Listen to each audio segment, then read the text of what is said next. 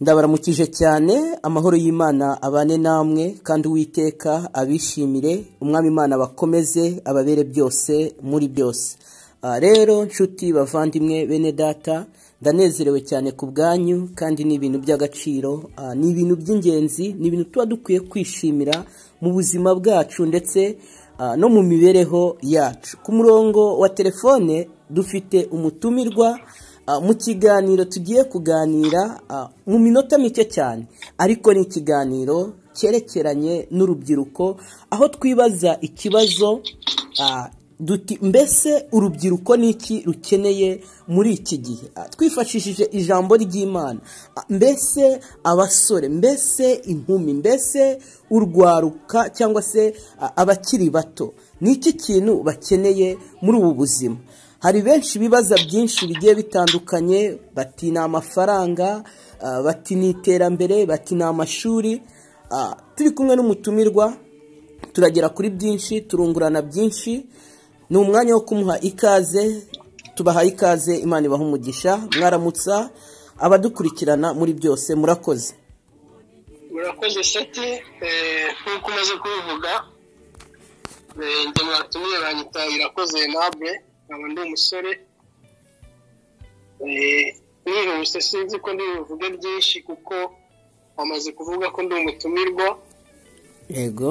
Rero tugendeye ku nsanganyamatsiko cyangwa kuri topiki watanze ivuga icyo abasore bakeneye n'iki gihe cya none.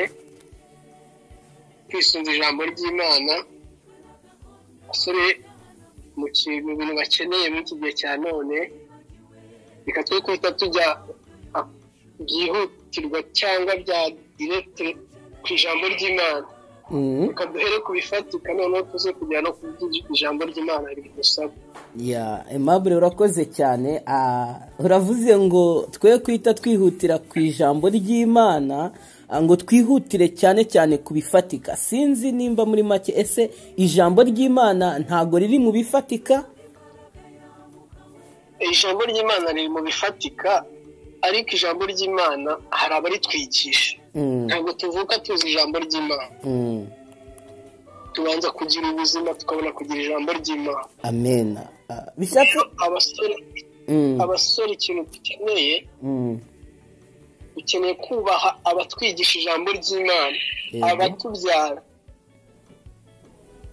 Ya kubaha umubyeyi wawe cyangwa umuntu uwo ari we wese uturuka waba uguha ubure- uburere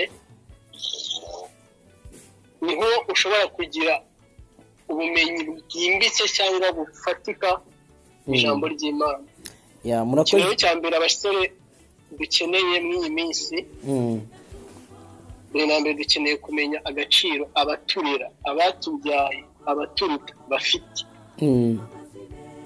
Mm. Eh, numvaga ari cyo ushaka kumbaza wabanza ukambaza kugira ngo nkomeze ya Aimable murakoze cyane uvuze akantu keza akantu gakomeye aho uvuze ngo ikintu cya mbere dukwiye kubanza kumenya mu byo dukeneye nuko dukwiye kubanza ah, kugira ikinyabupfura kubaha kwa tukabanza kumenya kubaha abaturuta ibindi byose ngo ubwo byakongerwaho kandi tukubaha umuntu ubwo muri rusange uraza gukomereza kuri iyo ngingo ariko ah, mu by'ukuri ah, urebye aho isi iri kuva n'aho isi iri kugenda ijyana ndi kubona amanetiwaka atameze neza Mm, ah, ariko no kwihangana ikoranabuhanga ntabwo riteguza. Ikoranabuhanga ntiriteguza ariko ya n'abandi cyangwa se n'abadukurikiye nabo ndakeka ntabwo bari buze kutuveba kubera yuko nyine ya nta gasangirwa cyangwa se nta gasangwa nk'amagambo barihangana. So, ikintu rero nshaka nakomerezaho ni uko by'ukuri by'ukuri mu by'ubu buzima mbere y'uko twinjira mu by'ubwami bw'imana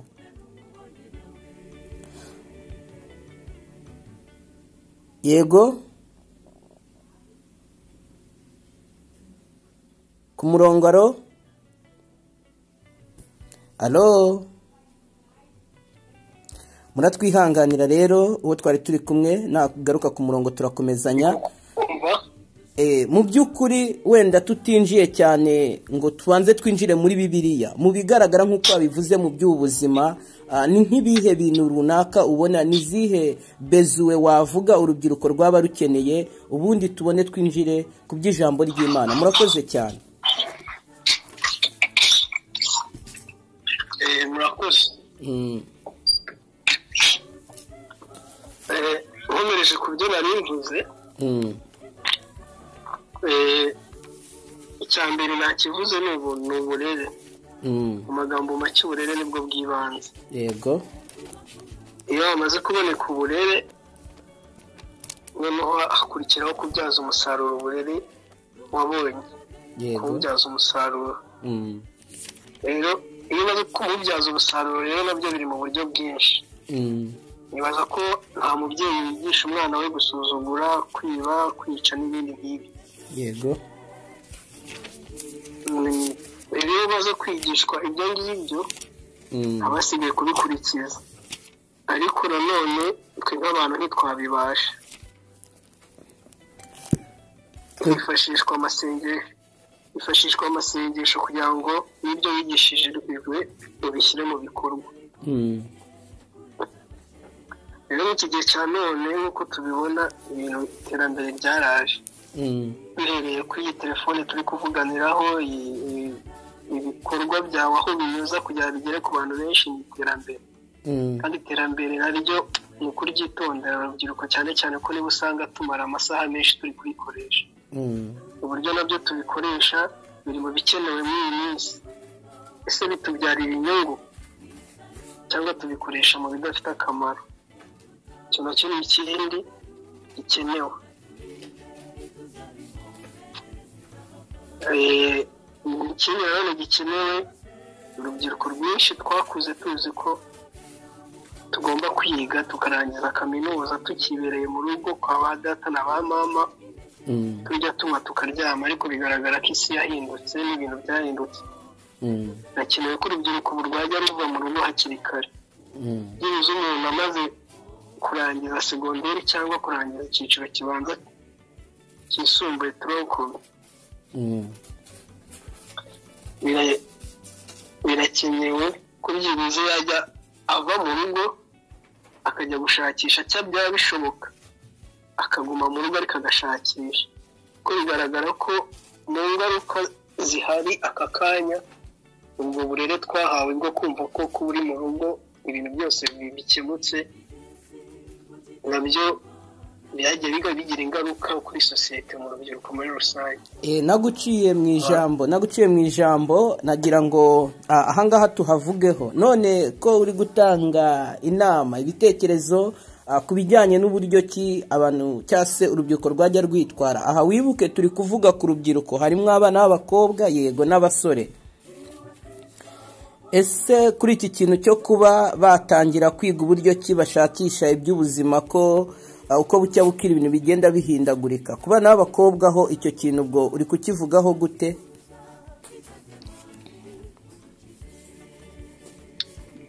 Abana b'abakobwa byo ni ibindi bindi.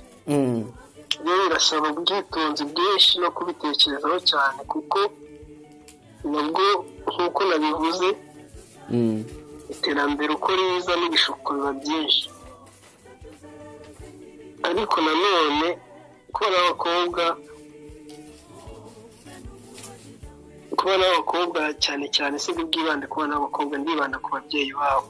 Mm, kuko abana b'abakobwa bakeneye ababyeyi babo kuruta uko bo ubwabo bikeneye. Bakeneye ababyeyi babo baganirize babaha umucyo ku buzima tubayemo babigisha uburyo bakwirinda babigishe kunyurwa mm, n'ubushobozi ababyeyi babo bafite kandi ba- ba- babubakemo ko ari bo hazaza h'umuryango wabo apana hazaza hawe kuko iyo ubwiye umuntu ngo "Ah, ni we hazaza hawe ntabwo abihava arera ahubwo ati hazaza hanjye niyo hapfa. Ababyeyi banjye bandeberera by'umwihariko ku bakobwa. Kuko nkurikije ku bumenyi bwanjye mfite njye mbona ko abakobwa ari bo bafasha imiryango yabo kuruta uko abahungu bafasha imiryango yabo. Iyo bagize imana baga- bagatera imbere bakagira icyo batunga. Mm, bitanga nk'inshuro eshatu z'uko umuhungu yakwitanga ku muryango we. Mm. rero ku bana b'abakobwa nabo bakwiriye gukanguka bakamenya umuntu by'umwihariko aba bagabo cyangwa abasore babakurikira icyo babakurikiyeho n'ababyeyi babo nabo bakabaha inama ziriya divensi kuko ababyeyi nibo ba- ba- bamarana igihe kinini kandi nibo baba bafite egisperiyanse y'ibyo banyuzemo mbere y'abana babo. Yego murakoze. Ah, ku bijyanye n'urubyiruko n'abasore uba ureba muri iyi minsi ikintu kibashishikaje ari ugushakisha amafaranga ari ugushakisha ah, ubuzima bworoshye. Aho ngaho ku bijyanye n'amafaranga n'ubutunzi wavuga iki? Ah, tugendeye ku cyo ijambo ry'imana ritubwira? Eh, amafaranga n'ubutunzi rero icya mbere ndabanza nsubize ngo ahubwo urebye abenshi si byo bashaka. Abenshi bashaka ubuzima bwiza ariko batashatse amafaranga. Mm. ahubwo dubona igitekerezo cy'umutunzi icyo icyo yesu yamusabye kugira ngo abe umuntu ushyitse. Kirya gihe yari umuntu udashyitse. Mm.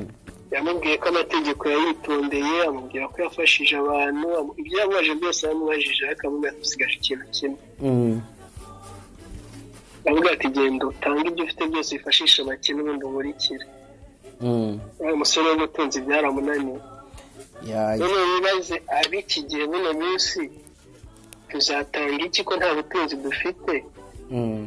kandi dushaka kubaho neza kirisito nadusaba kugurisha ibyo dufite byose tugafashisha abakene tuzatanga iki? Ubutunzi ntabwo dufite kandi na yesu kirisito ntawe dufite. Byose ntabyo dufite. Twe twishakira kubaho mu isi y'iterambere turya turyama twambara neza. Ah, wenda tugarutse ku gatoya ah, ku gitekerezo cy'umusore w'umutunzi ah, tubona atangirana amagambo yatangiranye amagambo avuga ngo mbese n'iki nakora kugira ngo mbe mwiza? Eh, maze yesu kirisito aramubwira ati wakora buri kimwe wakora ibi wakwitonda muri uku wakiranuka wakwirinda ubusinzi wakwirinda ubusambanyi wakwirinda ishyari wakwirinda igomwa. E, wa mutunzi wa musore w'umutunzi ngo yumvise ibyo yesu ari kumubwira yumvise ibyo yesu ari kumubwira ngo agomba kureka. Aramubwira ati ibyo byose nagenje gute? Narabyitondeye. Nk'uko tubibona tubona yuko koko uriya musore ngo yari yarabyitondeye kandi koko n'iyo urebye uko ijambo ribitwereka uriya musore ntabwo yari yarasayishije. Ariko yesu kirisito arangije aramubwira ngo usigaje ikintu kimwe kugira ngo ubone ubugingo buhoraho cyangwa se kugira ngo uhere ko ubone ugenze gute unkurikire. Ari cyo yamubwiye ngo afate ibye ibyo atunze byose ngo abigurishe kubigurisha ngo ntafate amafaranga ngo ayahunike cyangwa ngo ayabike ngo ahubwo ngo abigenze gutera? Ayafashisha abakene. Harya umutunzi byamugendekeye gute? Yisubiye inyuma nta kintu yarengejeho yabonye ko atabishobora. Yaratekereje asanga kugurisha ziriya etaje kugira ngo afashe abakene ku bwa yesu kirisito bitakunda? Ijambo ry'imana riravuga ngo aho ubutunzi bwacu buri ni ho n'iki kiba kiri. Niho n'imitima yacu iba yibereye. Bivuze ngo none rero ntabwo ntabwo umutima we wari uri mu byo yakurikije yaba kwitondera amategeko kwitanga n'ibindi. So niyo mpamvu rero ndi kuvuga ngewe kuri ino topike urubyiruko mbona rudakeneye iby'isi cyane. Wowe urabyumva gute? Urabyumva kimwe nanjye cyangwa se byose urubyiruko rurabikeneye? Iby'isi birakenewe cyane kuko iby'isi bidahari Mm, njye nawe ntabwo twaba turi kuvugana. Turi kuvugana kuko washatse iby'isi ukagura amamega ukagura telefone ishobora kuba iri kapabure mm, gukoresha watsapu na na konegisiyo ya katereje cyangwa foji uko babivuga Mm. tukabasha kuganira. Yego murakoze cyane. None no no ijambo ry'imana uko batwigisha bamwe bari batwigisha kureka gukora cyangwa gushaka ibintu aho dushaka umusaruro mu ijambo ry'imana mu gukora umurimo w'imana ariko ntabwo batubuza gukora kuko n'ijambo ry'imana iyo ugiye mu itangiriro ukareba imana irema nyuma yo kurema yahaye umuntu isi. Iramubwira ati ujye ukora mu gihe iki n'iki ariko umunsi n'uyu ujya ugira igihe dusabane. Ntabwo ijambo ry'imana ritubuza gukora. Ahubwo wenda sinzi nimba uri kuntahura neza iby'ubutunzi iby'ubutunzi bw'iyi si na yesu kirisito cyangwa se n'ubwami bw'imana. Ubona ari iki kintu gikwiye gushakishwa cyane ku bijyanye n'urubyiruko ugendeye ku by'uyu munsi biri kugenda ah, ugendeye kuri uyu munsi by'urubyiruko ruri kugenda rushaka. Mbere na mbere imana niko ijambo ry'imana rivuga. Haleluya noneho ngo tubanze dushake ubwami bw'iki? Ubw'ijuru. Noneho ngo no gukiranuka ngo ni bw'ibindi? Tuzabyongererwa ngaho gira icyo utubwira rero ku bijyanye n'ubwami bw'imana ndetse n'urubyiruko na yesu kirisito noneho ubitugereranyirize utubwire ukuntu urubyiruko rwaba rukeneye ubwami bw'imana gusumbya ibindi. Nubwo twumvise ko ibi by'amafaranga ibi by'itumanaho byose bidusaba iby'ubutunzi bw'iyi si gira icyo noneho utubwira muri kuvurema y'ibijyanye noneho n'ubwami bw'ijuru. Gatatu umurongo wa kabiri aravuga ngo mwihane kuko ubwami bwo mu ijuru buri hafi amena ubwami bwo mu ijuru buri hafi kandi tukaba twarigishijwe ko ubwami bw'ijuru bumeze nk'abatahajuru cyangwa abategereje Mm. sinibaza ko eh, ijambo ry'imana rye ryavuze ngo nuhe ninde mubyeyi umwana we yamusaba umukata akamuhibura Mm. Niba tuzi gutanga ibyiza turi abantu data wa twese mu ijoro azatuma bimeze gutya azaduha ibyiza kurenza ibya bindi duhereza abacu. Ibyo byiza biri hehe. Biri mu bwami bw'imana. Kandi tugomba gushaka iki? Ubwami bw'imana mbere y'ibindi byose. Ni ukuvuga rero abasore niba turi abategereje kandi biga ibyanditswe byera nta kindi dukeneye ko batubwira kugira ngo twige ubwami bw'ijoro nta kindi gikwiye kutumotiva ngo dushake ubwami bw'ijoro ni uko tuba twarasomye tukaba tuzi icyo ubwami bw'ijoro buvuze ni cyo busobanuye. N'ibyiza biriyo amena rwose. Umusore ngiye kwa data Mm. kubategurira Mm. zaba kuko mu rugo rwa data hariyo byose hariyo amazu. Nta kibuza ariko ngiye kubategurira kugira ngo muzaze aho ndi namwe mbaneyo namwe rero aho ni ho nshaka kugaruka nkakubwira ko nubwo dushaka iby'ijuru Mm. hari iby'ibanze tugomba kubanza gushaka sibyo nise ibya mbere Mm.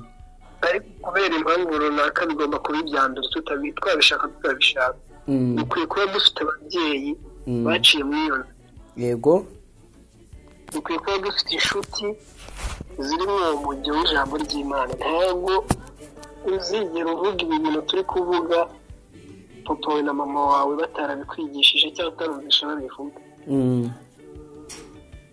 nubivuga warabikuye ahandi uzabivuga uko wishakiye ubivuge nabi ya ibyo uvuga ni byo ni byiza ngo natwe urubyiruko nubwo turi kwirebaho tukavuga ngo dukeneye ariko tunarebe n'abazadukomokaho. Ese niba hari ibyo twabuze niba hari ibyo tutabonye uko byuzuye twe Mm. tuzakosora. Abandi bana bacu bazabe ya icyo uvuga ni cyo wakomeje kwibanda cyane ku kintu kijyanye no kubaha? Niyo basic niyo basic yo gushaka ijuru. Ntabwo washaka ijuru tubaho kandi ijambo ry'uwiteka riratubwira ngo ntago wa- wahimbaza imana ngo urate imana ngo uvuge imana utabasha gucira bugufi mwene so uzi mumenyeranye mubana mu buzima bwawe bwa buri munsi.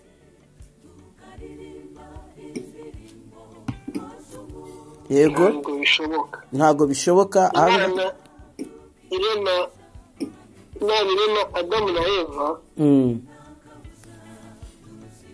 yabaye isezerano ko ibintu byose bizakorwa nabo. Bivuze ngiki nta zindi mbaraga zibaho. Zishobora kudukorera ibintu bibaho hano ku isi atari twebwe abantu. Mm. nzi ko uribuze- uribuze kunyumva uko ushatse kubivuga. Uradusobanurira kuko aho ngaho nshobora kugitahura nabi. Imana imana ntabwo yaza ngo igukorere ibintu. Kubera bintu twari twita ibitangaza ngo ibintu bimanuke hariya bize bive gutyo ahubwo ikora uko ishoboye kose ikabinyuza mu kiremwamuntu kuko imana ntijya yivuguruza ni isezerano yahaye adamu na eva. Mm, rero mpamvu kubaha ari ikintu cy'ingenzi kuko twebwe hano ku isi turi abantu b'ibitangaza turi ibiremwa biruta ibindi biremwa byose. Yego. N'ibyo tumenya tubimenya kuko twabihahanye. Wowe wanyigishije iki nanjye wakigisha iki nawe wakigisha uri ikindi? Iyo tumaze kubahana ni ho tubona agaciro k'imana. Mm. Imana iravuga ati tureme umuntu agira ishusho ase natwe atware ibiri mu isi byose. Ni ukuvuga rero twebwe turi mu ishusho y'imana. Mm. iyo tumaze kubahana iyo tumaze kugira ubumenyi bwiza n'u- n'uburere Mm. rero tubona aho ku- kubona imbaraga zo guhimbaza imana tukagira izindi mbaraga zisumbuyeho. Niyo mpamvu nagumye kwibanda mu kubaha aba- abaturuta abaturera umuntu wese dufite aho duhuriye mu cyiciro icyo ari cyo cyose. Yego. Eh, niyo mpamvu wumvishe ngoma kwiyo point kuko ntabwo wa- wajya kwigisha umwana ngo mbubwire ngo gatanu gatandatu umunani. Utarize rimwe kabiri gatatu. Ni uguhera kuri sitepu kugira ngo ibintu tubigendemo neza ntacyo dusimbuka. Rero iyo umaze kubaha ukaba umaze kumenya imana noneho ujya ku murongo wa munani kuri mata y'igice cya gatatu bakakubwira ngo nuko mwene imbuto zikwiye abihana izo mbuto rwose zikwiriye abihannye wanadufasha ukazidusangiza n'imana ikaguha umugisha. Urukundo yego. kubaha gukundana gukurikiza amategeko y'imana kuko umaze kwihana uba umaze kumenya agaciro k'icyaha. Iyo umaze kumenya agaciro k'icyaha rero ni ho dusubira muri kuva makumyabiri. Yego. Tukareba uko imana yadutumyeho ikoresheje umugaragu wayo Mose. Mm. ibyo imbuto z'abihannye ni hariya ziri niyo beziko hari n'ibindi byinshi biri inyuma ya biriya ariko biriya iyo ubikurikije kuko amategeko niyo miruwari twireberamo ukamenya ufite agatotsi ukitokora. Amategeko n'indorerwamo muri rusange. Eh, Mm. ni na zo mbuto rero z'abihannye ziriya ari zo mbuto z'abihannye. Ah, wenda kuko iyo wamaze kwihana wubaha iyo wamaze kwihana ntiwifuza iyo wamaze kwihana ntiwiba ntiwica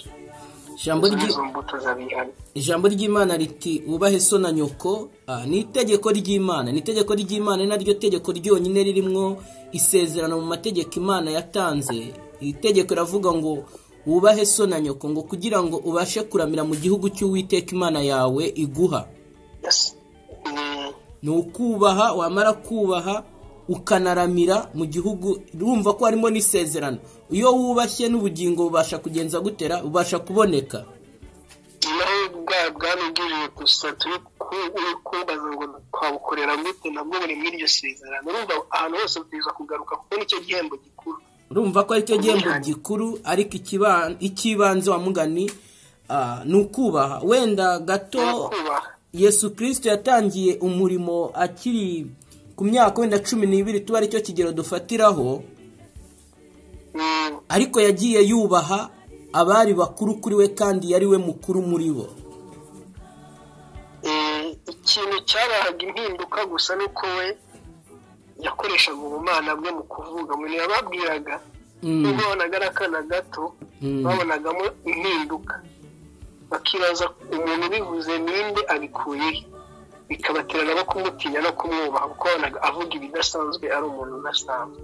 Cyane rwose. Na na pawulo asiga timoteyo nk'umwigisha mu cyimbo cye. Yaravuze ati nyamuneka jya wubaha abakuruta jya ubageraho ubumva batega amatwi. Buriya ntago ah, naho waba ufite imbaraga n'ubushobozi bimeze gute? Ntago wapfa gucyaha ukuruta. Biragoye niyo waba wiyiziho ubushobozi n'ubuhangange bumeze gute kubaha ni ikintu cy'ingenzi kandi ni ukuri ndagushimiye imana iguha umugisha ngo ni cyo na- nashatse kugira nk'u- nk'umuzi nk'ifatizo Mm. ry'ibyo abasore bakwiriye gu- kuba bakora muri iki gihe cya none mu gihe isi igeze aharindimuka mu gihe iterambere ryavanze ibintu byose Mm. mu gihe tubona ko ibintu byaducanze abakomeye nabo batazi aho isi iva n'aho igana aboroheje ni uko ni ukuvuga ngo isi iri mu kigare hakeneye izindi mbaraga n'ubundi bwenge. Haba si ku rubyiruko gusa ni uko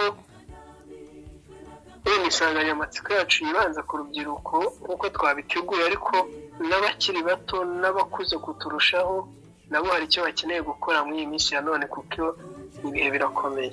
Murakoze cyane kandi imana ibaha umugisha. Ah, iyo dusomye mu mubwiriza mu mubwiriza igice cyawo cya cumi na kabiri ah, ukaba wasoma uhereye ku murongo waho wa mbere. Hari amagambo avuga ngo cyangwa se ah, duhereye ku gice cyawo cya cumi na rimwe hari amagambo afite umutwe uvuga ngo kora ibyiza ugifite uburyo.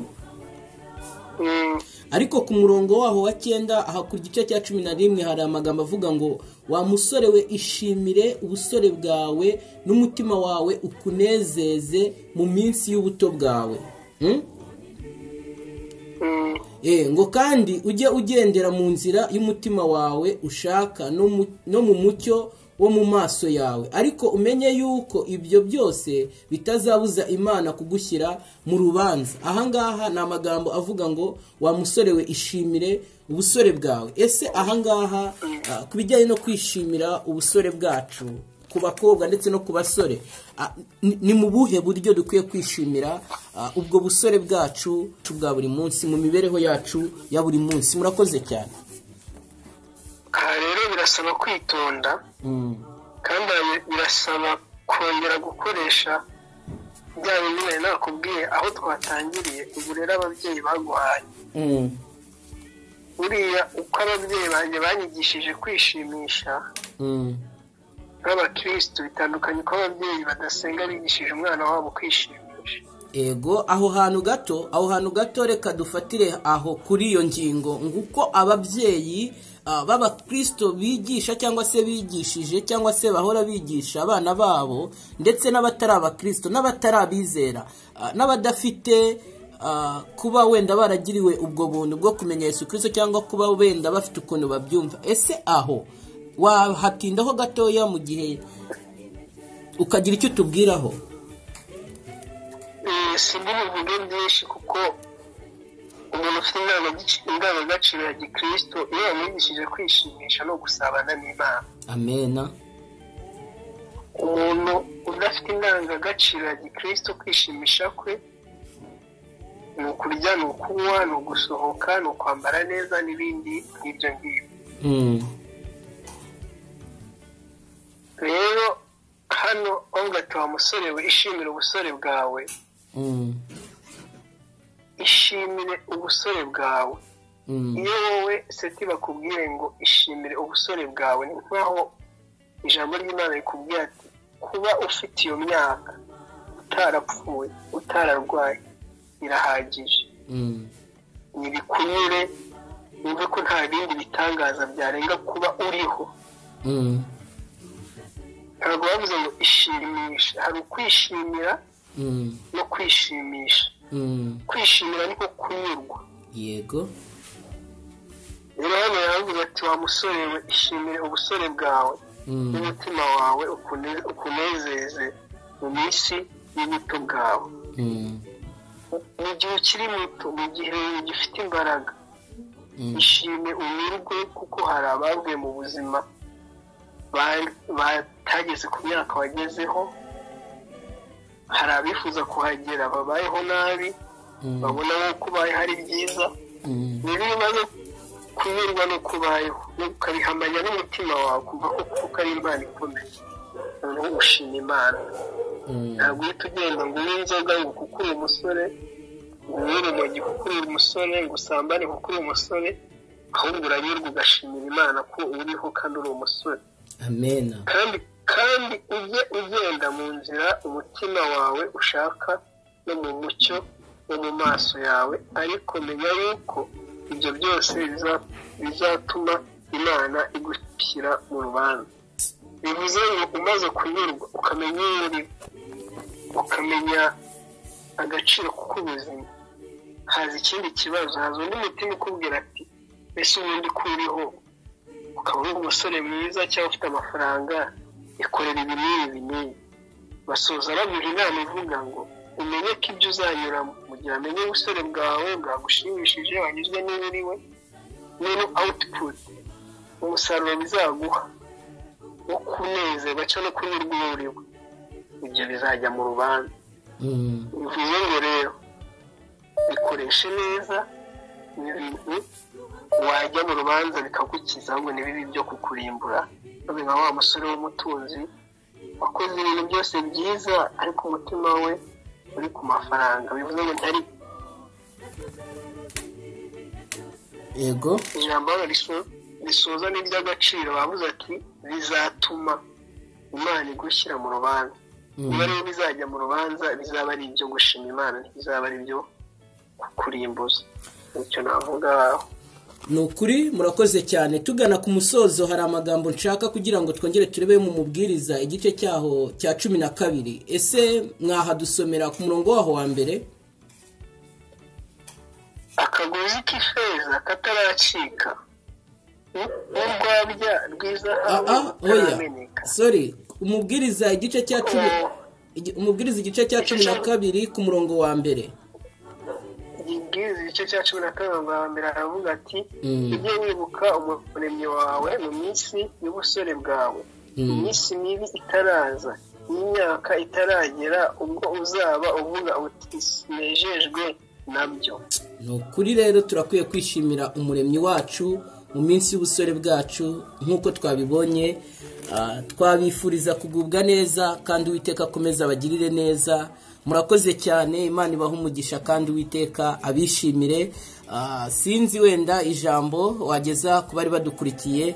Ah, ubundi tugasoza naho ubutaha cyangwa se turakomeza. Murakoze cyane. Eh, nishimiye ibiganiro twagiranye. Byari iby'ubwenge kandi byubakaga. Abadukurikiye nzi ko hari icyo bazakuramo Mm. Niba aho twavuze nk'abana b'abantu batwihanganire ariko umugambi wacu si uwo kubayobya cyangwa kubajyana kure ijambo ry'imana wari uwo kubagarura ku mana kugira ngo buri muntu wese agire ibuye ashyira kuri ibi bihe by'iherezo kugira abantu bakanguke bahinduke kirisito nagaruka azajyane benshi. Murakoze cyane. ndishimye cyane ku butumire bwanyu n'ikiganiro mwaduhaye. Namwe imana ibaha umugisha ikindi gihe niba bishoboka tuzongera tuganire nta kibazo. Turije umugisha w'imana. Namwe umugisha kandi muwuhorane ah, kongera ni ibisanzwe tugomba gukomeza tukajya tuganira tukungurana n'ibitekerezo. Ah, dusoza twasoresha isengesho mwadushyira imbere y'imana murakoze cyane. Gushimwe akoze imana ikomeye imana y'urukundo n'umugisha ko tuganira kuri iyi- kuri aya magambo yawe si kubwo umugambi wacu si kubwo twabiteguye ahubwo wowe wari ubizi ko igihe nk'iki amasaha nk'aya ibihe nk'ibi ari byo tuzaba turimo ko wabyemeye bikaba kandi bikayoborwa nawe bikagenda neza reka tugushimire bikadusabira umugisha n'abaza kubyumva bigira icyo bihindura n'icyo bikora ku bugingo bwabo kugira ngo kubera iyo utsinze ubu uzaba ugarutse bigusaba mu izina ry'umwana wa yesu kirisiti amen.